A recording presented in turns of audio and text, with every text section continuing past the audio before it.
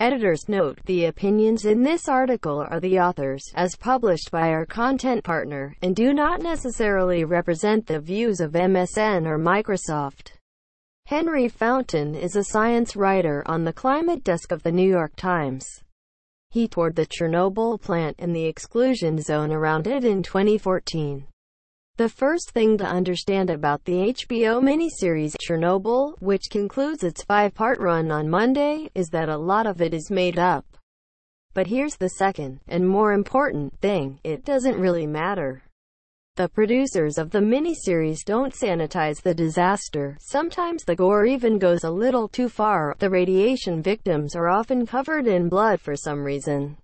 Instead, they simplify. They leave the grim alone, but the demands of Hollywood, and of production budgets, take a toll on the messy. That's not to say there aren't many touches of verisimilitude.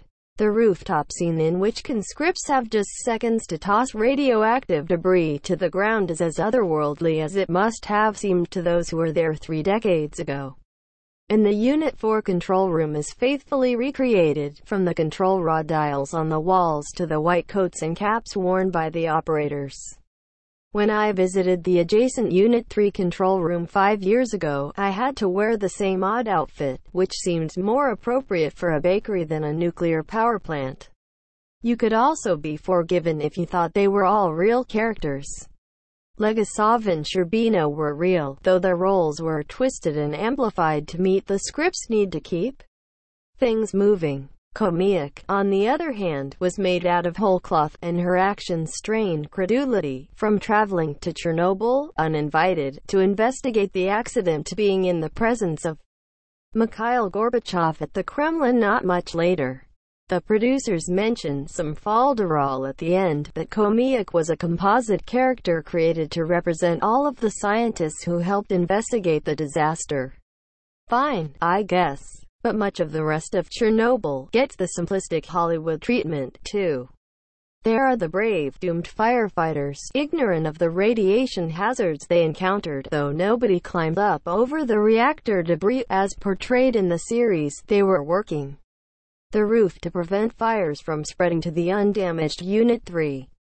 The plucky, can-do miners, brought in to excavate under the reactor to stop the meltdown, stripping naked to get the job done. The series doesn't say this, but their work ended up largely for naught. The no-nonsense helicopter pilots, risking radiation sickness to drop their loads of lead, boron and sand on the reactor, while one helicopter did crash, killing its crew. The accident happened months later, and radiation had nothing to do with it. I could go on. Don't get me started about that blue light from the exposed reactor shining high into the night sky in the first episode. Yes, nuclear reactors can produce a blue hue from something called Cherenkov radiation, but no, there's no way Unit 4 would have looked like the tribute in light in lower Manhattan on the anniversary of September 11th. In the end, though, none of this really matters.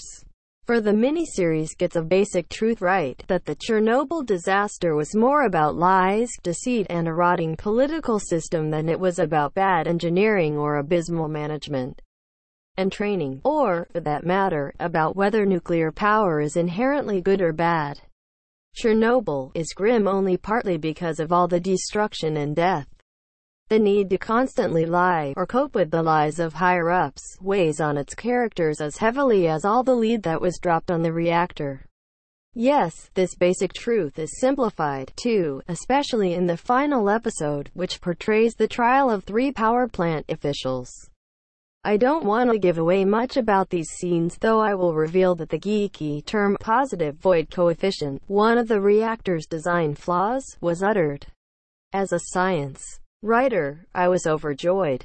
The idea of someone speaking truth to power in this court seems about as far-fetched as anything else in the whole of Chernobyl.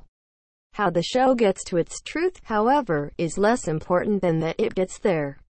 Viewers may come away from Chernobyl realizing that, together, people and machines can do awful things, like create a nuclear catastrophe for the ages. If they also come away understanding that in this case that outcome was more the fault of a government and its apparatchiks, so much the better. Pictures Ghosts of Chernobyl